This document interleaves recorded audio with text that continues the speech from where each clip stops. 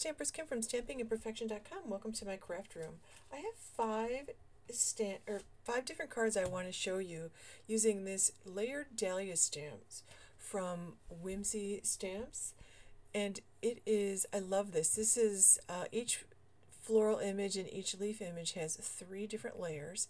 So I'm starting with this big dahlia and I'm starting with the solid stamp image. And um, this is going to be the bottom layer or the the background image and um, or the background part of it I should say.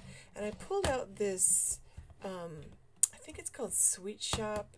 Altenew set I'm using mostly Altenew inks today. I'll use some Catherine Poolers but I'm starting out using this mango smoothie color and I think this is really a fun combination of inks. This is one of the sets that they sell. It's a set of four, and they layer beautifully together.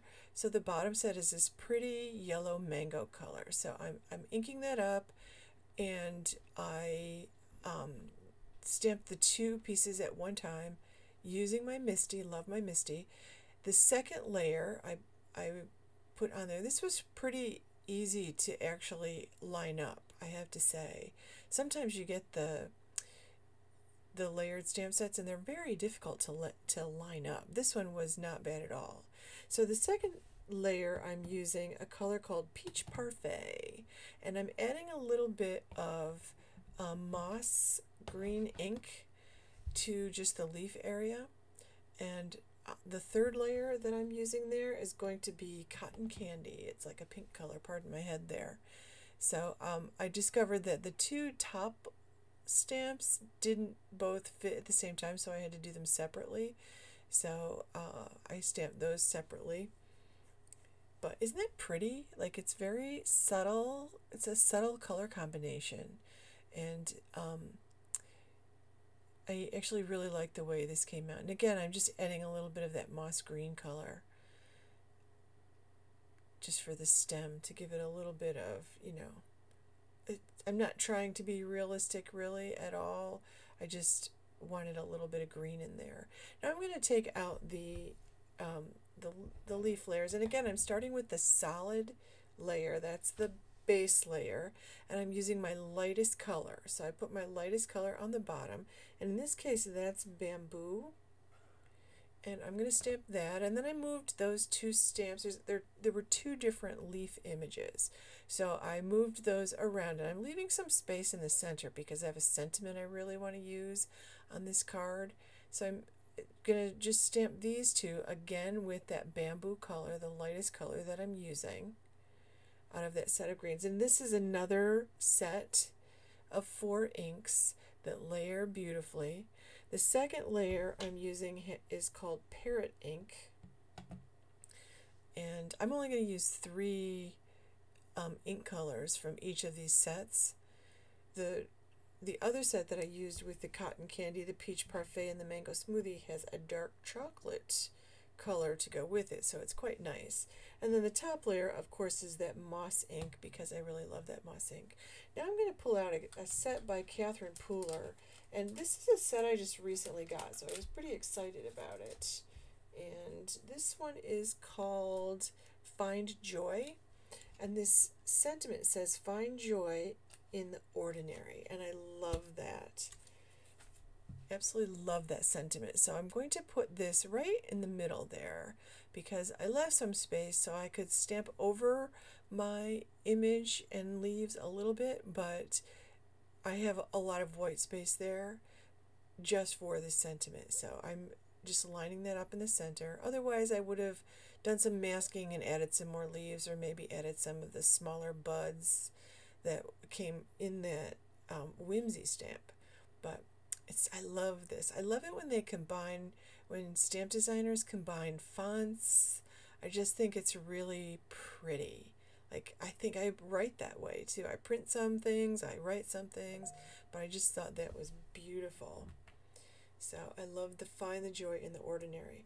So I I want to keep this really simple. I just want this to be a one layer stamp, or one layer card and I love single layer cards, but I do want to do a little bit of a watercolor wash background.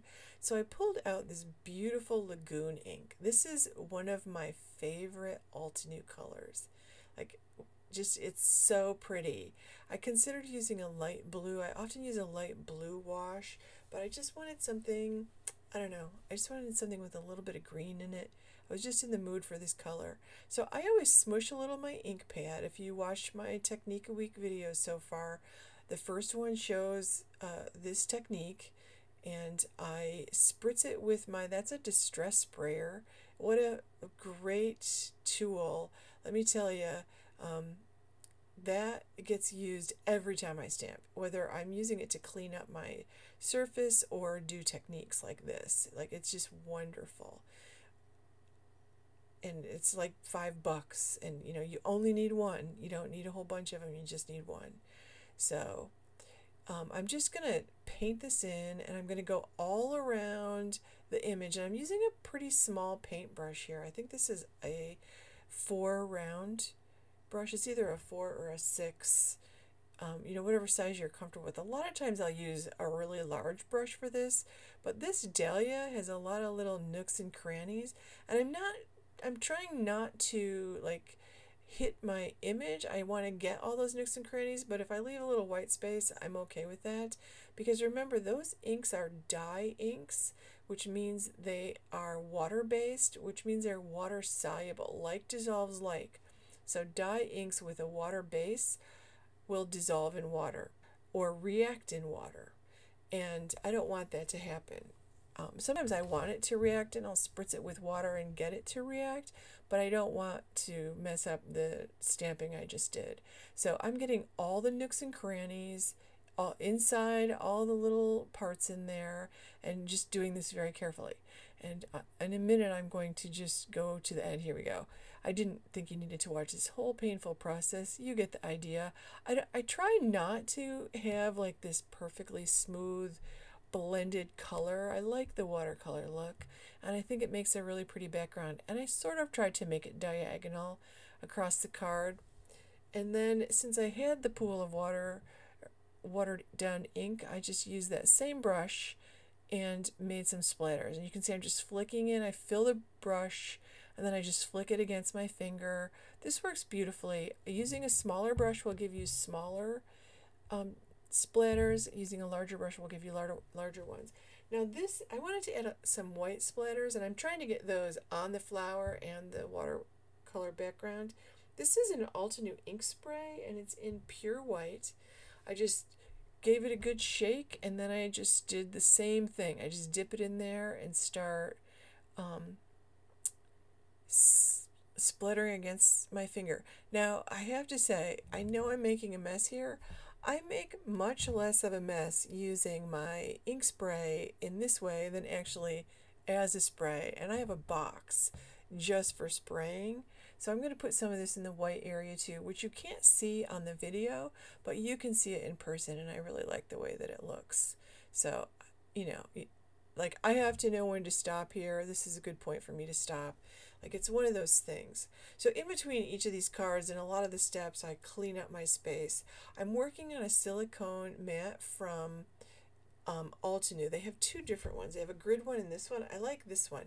The grid, because it's silicone, doesn't actually stay really, um, you know, square. So you want to be careful with it.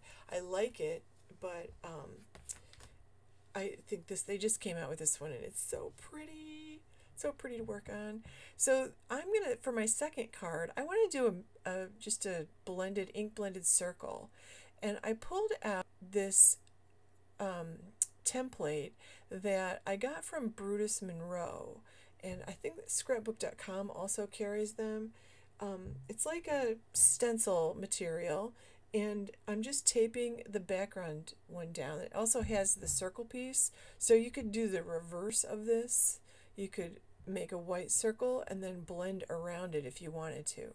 So I'm using some washi tape to hold that in place and I'm going to pull out one of my um, picket fence blender brushes and I'm just, I pulled out the biggest one. I don't know why. I guess I wanted to get this done quickly. Now I'm going to try to do some ombre blending. So I want it to be darker in one on one side and lighter on the other.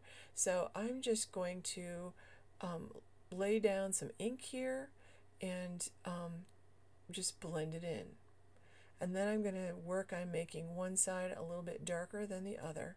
Now, this paper I'm working on, I don't love. Uh, it is, it's Neenah Solar White, and it's 110 pound. I love how heavy it is, and I love it for stamping. I do not love it for ink blending. I prefer ink blending on Bristol paper, but I had a whole bunch of this cut, so I'm using this. I love this for card bases.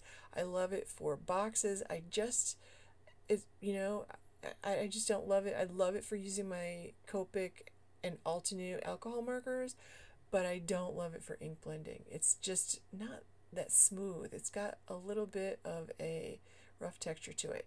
And that, by the way, is Volcano Lake. It's in the lagoon set and I love that. But you can see I have a darker blended to lighter, so I have that nice ombre look. So I'm going to put this in here, and I want to do a silhouette look on this one because those solid images are will make beautiful silhouette stamping. And the silhouette by silhouette stamping, I mean leaving my um, images just stamping them in black. So these are solid stamps. So I'm going to play with this a little bit and decide, you know, what kind of layout I want to do here. I know I want to use the solid ones.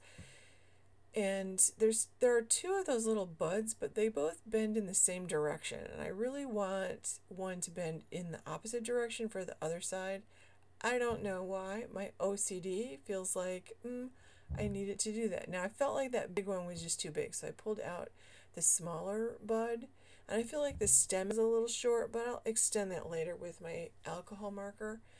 And um, I'm going to use a mirror stamping technique to get that bud flipped over. So I'm pulling out my Catherine Pooler Midnight ink. I love this ink. I love Altenew's black inks too, um, but recently I started really using this Midnight ink and I just love it. And um, so I'm using my MISTI in case I don't get a great stamped image, but pretty much with that Midnight ink, I get a really great, with Catherine Pooler inks in general, I get a really great stamped image every time. So what I want to do is I want to flip that over so that it's stamping in the other direction. So I'm pulling out my um, mirror stamp and I got this from Whimsy Stamps. Whimsy Stamps has a rubber version, and MFT Stamps, my favorite things stamps, has a clear stamp version. So if you like using clear stamps, you can order the one from my favorite things, mftstamps.com, um, and order it on a Wednesday. They have all kinds of specials on Wednesdays. Um, and you know use your wish list at mft stamps too by the way because they have a lot of good deals. You get a freebie if you have like a $60 order usually it's $60 it changes from time to time and there's a certain limit that you have to spend to get free shipping and then they have coupon codes if you go over a hundred bucks. So you know wednesday is blitz day there. This is the whimsy stamp i was talking about. It's just a solid rubber stamp.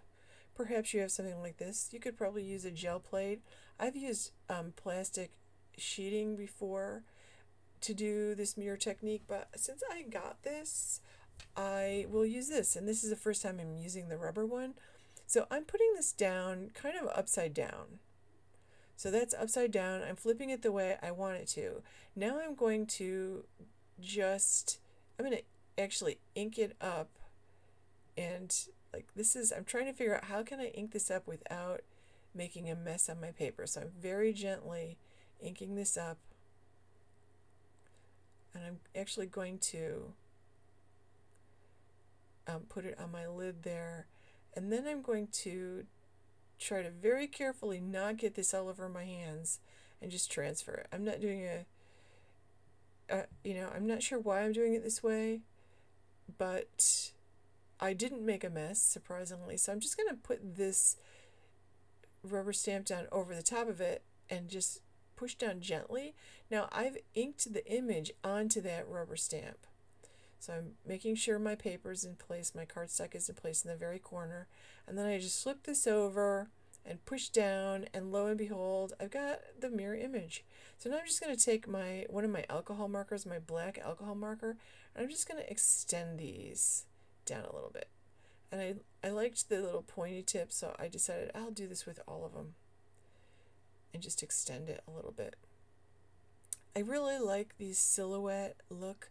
I could have done like a sunset look, you, you know, you've seen that a lot, but I just love this particular uh, color of ink, that lagoon and the the volcano lake and the other ones that go with it. There's an emerald one and I forget what the other one is called, but they're very pretty, that set of four and I just picked two of the shades that I, you know, I didn't use all four. So I'm, I'm pulling out, I just got a new stamp set from, I'm saying that a lot lately, right? I'm just got, I've just got too many new stamp sets, so I can't order any for a while, but I couldn't resist this stamp set from my favorite things, MFT stamps. This is Happy Hummingbirds. I loved the sentiments. It's got a thinking of you. It's got quite a variety with sympathy, best wishes, thank you, I'm sorry, thinking of you, happy birthday, may your day be filled with love and joy. So I decided to stamp it on the card because I was really trying to make this one layer, but because I extended those um, stems down into the white, I didn't like the way it looked. So I created a um, an a you know I can't think a sentiment strip from that. I just restamped it on a piece of scrap white cardstock, cut it down, and I'm just using the leftover ink to very gently, I don't want that ink to get on the top, I'm just trying to like just put a little bit of that, that lagoon on the edge of the card, just because it shows up a little tiny bit and I like it. Like, I just really like this. So I will pop that other sentiment that I just made up with foam tape and then I'll put it right over the one that's there. I like where I placed it, but I didn't love um, how it looked. It didn't show up enough. Maybe if I'd done it in like silver embossing powder, but I was really trying to keep that silhouette black image, black sentiment. And I'm just using a sanded eraser here to remove some of the ink that I got on the front there. I didn't want to do that. So I'm going to pull out some foam tape here. And, um, oh, I almost forgot I also like splatters on everything. So I'm using, and I actually got a few splatters when I spritzed it. Move your card first um, before you do that in case you, you don't, you have spots you don't want splatters to go. I'm using a big brush because I, I like big dots, big splatters. And um, I think I like splatters better when I leave more white space than when I cover the whole thing. So there's a there's a technique to splatters, and I think I got too many on this card, but I still like them. Somehow I, I feel like it pulls the card together. So I just want to make sure I get that sentiment covering up the one that I already stamped. And that's going to complete that card. So I've got these two cards completed. Completely different cards. They don't even look like they were made with the same stamp set. And I used sentiments from different stamp sets, but you know, I still am using the same stamp set to create the main image. So back to the layered dahlias. Now this is my third card and I'm still using that same Neenah Solar White 110 pound and I picked all the images that were not solid images. I picked the middle images of the detail and then I picked the outline images here. I just wanted to, I want to make a background. So I'm just covering the whole background. I'm just putting the um, stamps down I like when they go off the cardstock a little bit. Um, so I try to like make the stem go off or make part of the floral image go off. So I'm going to use my Versamark because I'm going to heat emboss and then I'm going to use those same, uh, the lagoon and the vol is it Volcano Lake or Volcanic Lake? Volcano Lake inks to blend again an ombre background over this um, embossed image that I'm creating. Now remember that when you heat emboss something, that embossing resists the ink. So the, the white embossing powder will show.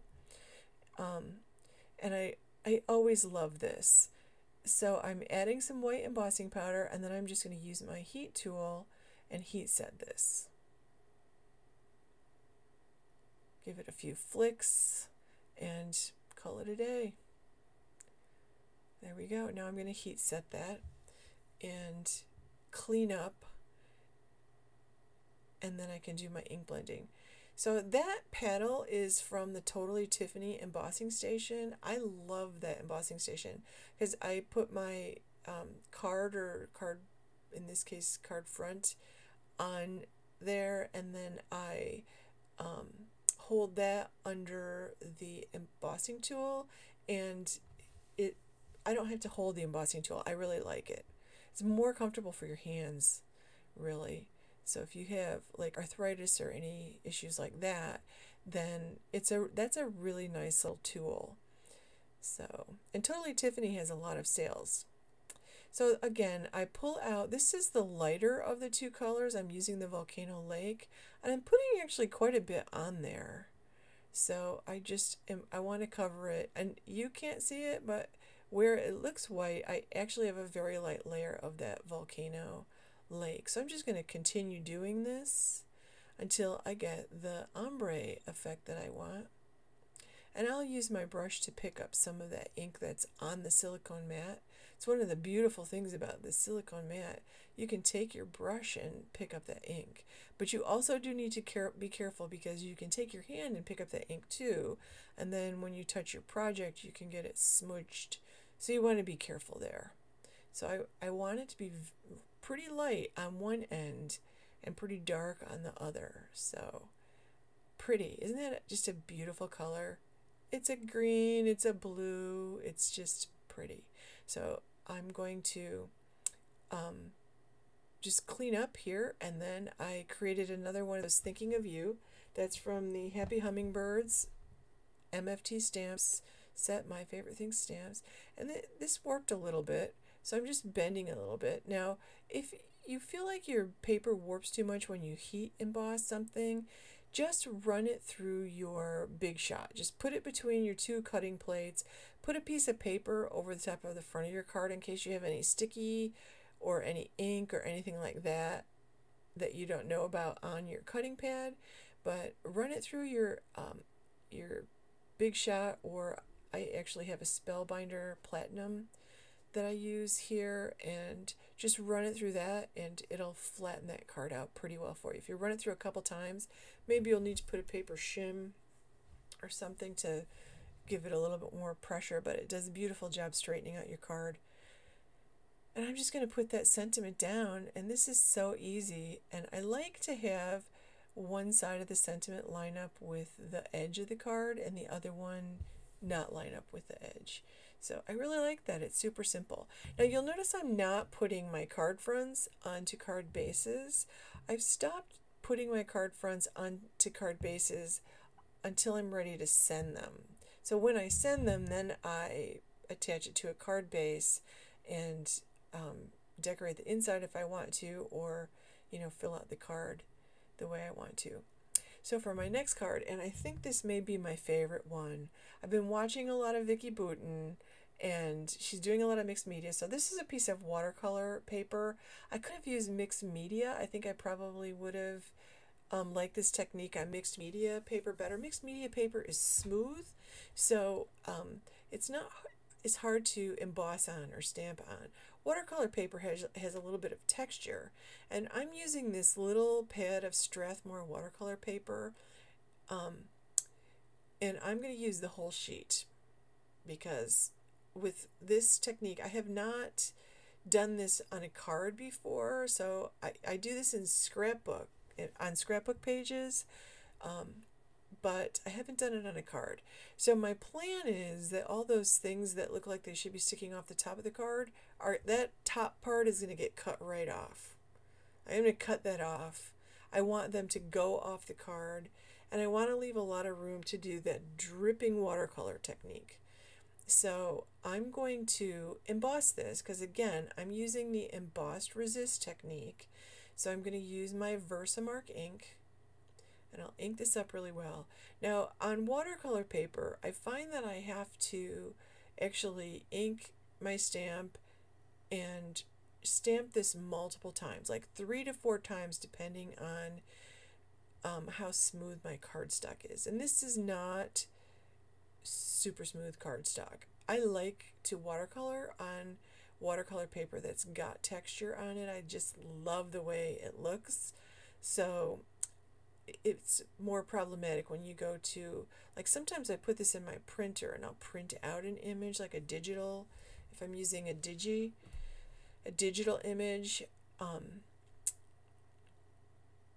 but also when you're stamping on it you have to do it multiple times so that I put white embossing powder down I heat set it now it's a little warped so I did run this through my um, my die cutting machine and now I'm going to tape it down to this little board I have. This is actually a cutting board and I didn't like it as a cutting board so it became a board that I paint on and I kind of like it for this.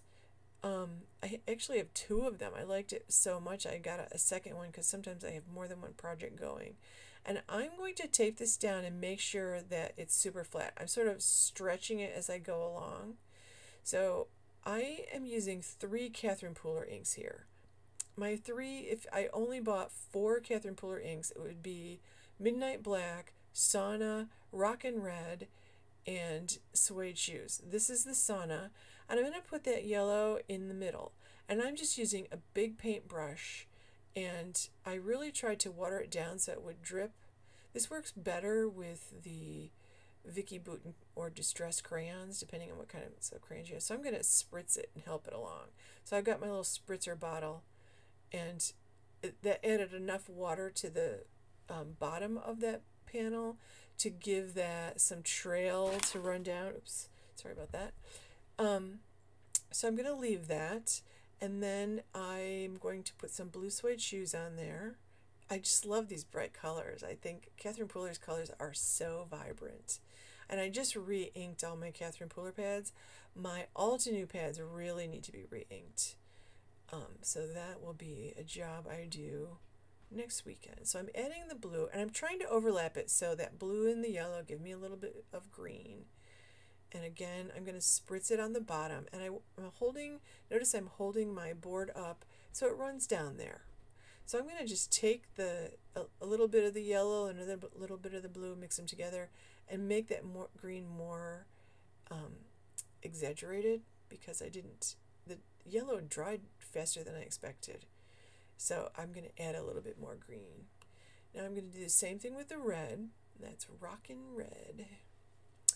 And um, put it down the side. I'm just going to fill into the edge there.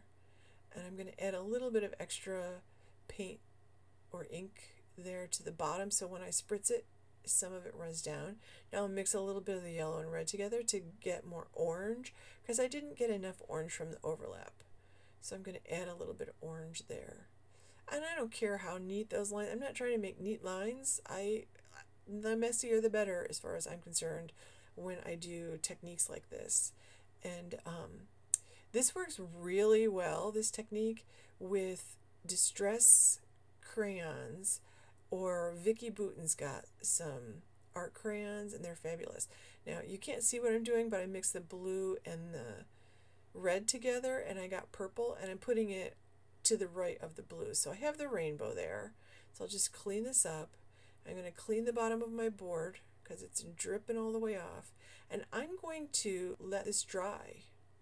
And I'm going to like let this dry for quite a while. I actually like gently just put a paper towel down and dabbed it but I want this whole thing to dry and I, I always take a whenever I do any resist technique I buff the embossed parts so I let that dry overnight actually um, and when I pull off the tape I really loved this I thought boy I could I could frame it if I you know stamp something different there because I've got a lot of weird space above the top of it because I was planning on cutting. I want this to be four and a quarter by five and a half. So I'm just going to cut this down. I know I need to cut about a quarter of an inch off the bottom. So I'm cutting this down to um, four and a quarter by five and a half. And I didn't end up leaving very much purple or very much red, but I really like the way this came out. I thought this was really pretty. I think this is a pretty technique and it's pretty really pretty in scrapbook pages. So I'm using some of this Bearly Art glue and uh, I didn't bother putting one of the little, um, there's special like nibs that come on there. I just open it up. Um, I, I like the glue a lot. I don't love that I have to put new, new nibs on. Um, that, that little container of different sized applicator tips is just not going to last on my desk, I'm sure. Um, but I really decided I would use the glue because I think that's going to hold it down the best. Sometimes when I use double-sided sticky tape, it's hard to get it flat enough. So I'm pushing this down, and I like this glue a lot because it dries clear and um, it gives me a little time to wiggle things around and then it takes a few minutes to dry. So I'm pulling out two of my clear blocks. These are Catherine Pooler clear blocks, my very favorite clear blocks in the whole world that I've tried so far.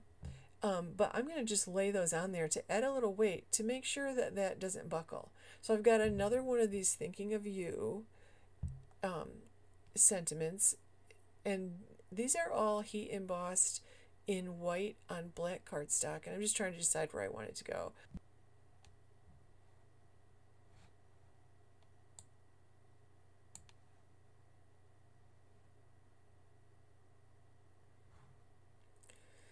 So I'm just being a little fussy and trying to see where I want to put that and how much I want to cut it down. So I've decided where I want to trim that down.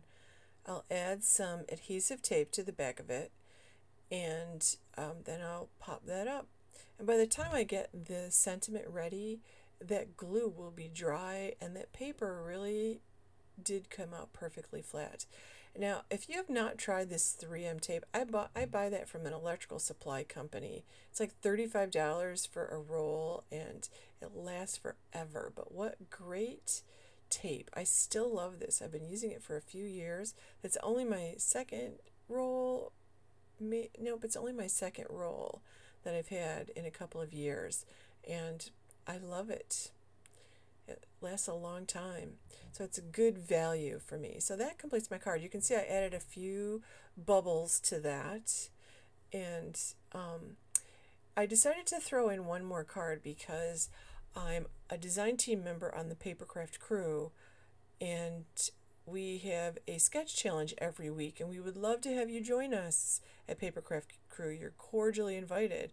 So I'm putting down, I'm using the sketch, and the sketch is a pretty um, pretty classic sketch, I would say. The the sketch calls for like pattern paper or something on the bottom, and um, so I want to do some ink blending because I I've got the inks out and I I'm trying to use the same materials um, for all of these cards. So again, I'm using the Volcano Lake and the Lagoon and I'm using the same brush I oh nope I pulled out a smaller brush here. But I just want the top of that card to be white. That's why I put the washi tape down. And I'm going to be very careful next to that tape so I don't go over it. And I'm just going to spend some time and again I want the top part of it to be darker and then I want to do a nice ombre look. So I'll keep blending till I get a nice smooth finish. And um, I will add some of that lagoon to the top part of it to make it a little darker. And I'll just keep blending till I get that light, nice light finish. And a lot of times I find that if I finish off with the light color to just blend over the top of the whole thing, you get a pretty nice blend. I do know that I am going to spritz this with some water because again, the dye inks react with water, so you get a really nice effect when you spritz it. So this is the lagoon. Beautiful, beautiful, beautiful. And I didn't even bother cleaning the brush because this is the darker of the two colors. So I'm just going to go ahead and go along the top of that because I want a nice crisp line when I remove that and I want that top to be definitely darker. So I don't want it to be quite so dark in that one corner so I'll work on that and just keep blending it. And a couple other elements in this card. It does call for um, something where I have the washi tape. I won't use that washi tape, but while I'm doing this, I'm thinking about what I want to do there for this one little element. It really calls for like a piece of washi tape or cardstock or something like that in a sort of crooked way, but I'm not sure I'm going to do that. I'm trying to decide whether maybe I'll just use a big sentiment or, you know, something so I'm, I'm just finishing up this blending and I'm okay with the way that came out. And I used a lot of the ink off my table there. I'm going to put that aside and I'm pulling out a piece of scrap paper that I have. And I'm now pulling out my Whimsy stamp. And this time I'm going to create another layered look, but I'm going to use a different set of colors. And um, I still am going to use the lagoon in the volcano lake for the um, the leaves here, but I'm starting with the lightest color in this set, and it's pink pearl, so pretty. And when I do this, my ink pads are very dry. This is how you know your ink pads are dry, when you have to ink it twice and you push down so hard that you actually lose all the detail. So I just flipped my paper over. This is, you know, leftover paper from some project and I'm going to redo it, but this time I'm not going to push down so hard. I'll stamp it lightly twice. And notice that just before I did that, I wiped off the stem with my finger. And I do at the end forget to do that, so I end up with a little bit of pink in the stem, but that's okay. It doesn't make any difference. It doesn't need to be perfect. I let perfection go a long ago, and I live a better life for it. So I've got that base. It's a, such a pretty color. I love the pinks and the corally pinks. So I, I um, notice that I, I have the original MISTI and the mini MISTI. I use the mini MISTI the most, but if you only get one MISTI, get the original because notice that I use that for the techniques where I was either using larger paper or where I wanted the stamps to hang off the edge, I used the larger MISTI. So if you use just a small one, you won't be able to do that. And that's one of the benefits of the MISTI, I think. So I forgot to wipe it down there, the stem. So I have my pink stem. Now I'm using the second color. This is Coral Bliss. This is just so pretty. And I pull out that volcano lake just to give the stem a little green. And it, you know what? It turned out okay. You can't even really see much of the um, pink pearl there. So now I'm putting that top layer on and I'm going to use the Vineyard Berry. This also has a darker red color called Heartbeat, but the Vineyard Berry is almost like a wine color and it's it's very pretty. It's got a touch of purple in it and you can kind of see that there. So it's almost like a burgundy so I'm using the uh, Lagoon for, this is the outline stamp. So, you know, that stem came out okay. I'm okay with the way that came out. Isn't that pretty? Like the detail is just so pretty. It's such a, like I tried, actually tried watercoloring this. Don't do that. All those little tiny things, like, you know, you need a lot of patience to do watercoloring if you're going to use those little tiny things. And um, I'm not going to spend four hours on a piece, to be honest, at this point, because I like to create a lot of different things. So, um, when I the, I just stamped the outline image of the leaf in Volcano Lake, and then I took this to my die cutting machine, and I used this. Um, this is called Crafter's Essential Kit and or set, and this is a die cutting set, and there's more there's got all different shapes and they've got stitched outline, but there's more on the back of that set too. This is a huge set. And this is some it's from Kat Scrappiness and um, lovely. I just love the set. I use it quite a lot. But that circle with the stitching was just the perfect size for that dahlia. I cut off a little bit of the leaf. I'm okay with that.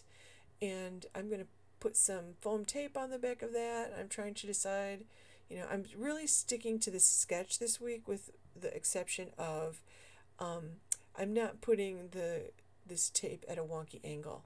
I think this is uh, Stampin' Up! from Stampin' Up! I'm not exactly sure where this washi tape came from. So I'm pretty sure it came from Stampin' Up! with during celebration. So I don't know if I doubt they still have that. They're always retiring things. So I put that down. I actually like it. I think the bumblebees are perfect and what I like about it is that it's got a little bit of metallic gold on it. So I'm going to go ahead and put some foam tape on the back of this and pop it up. So I'm being very fussy about where I put this. So why am I being so fussy and how it's turned? No wonder this video is 45 minutes long. I was trying to decide why is this video 45 minutes long. So I'm just going to cut this down. So I've got the foam tape on there and I put it aside because I decided that I really do want to spritz that bottom. So I spritzed that, which seems like magic because you couldn't see, but I was using my distress sprayer and I just spritzed it and then I immediately put a paper towel down. But you can see the difference. You can see the like water spots there. I always like the way that looks. I think it's just really pretty on ink blended backgrounds. So now I'm taking that black. This is just a black ink. This is actually Altenew's permanent black ink. And um, I'm covering up my piece this time. Just move it, Kim. Just move it out of the way. Why do you think your hand's going to cover that up? Don't ask me why. I know that I splatter when I do this. Why do I just not move it? So I'm using a big round brush because I get big splatters with the big round brush. And I really like big splatters. And the Altenew ink, you will notice that with the exception of that one big black splatter, um, this ink does not make splatters as dark as the Catherine Pooler Midnight ink. So I'm going to stop there. And I'll clean that brush up later, I promise. I've had those brushes forever. It's amazing. And I do clean up, at, you know, right away because um, I am trying to keep that relatively stain free. So again, this is kind of damp because I just spritzed it. So um, it's going to warp a little bit. I will send that through my um, die cutting machine and if it doesn't completely, you know, if it doesn't completely flatten out by me putting that, I put the paper towels down because those ink blocks are not that clean. So I created my sentiment while that was sitting. And um, that is from an Altenew's stamp set called Quilled Elegance. And I really like the, uh, the skinny sentiment here. And I think this is a really nice sentiment to send someone during quarantine.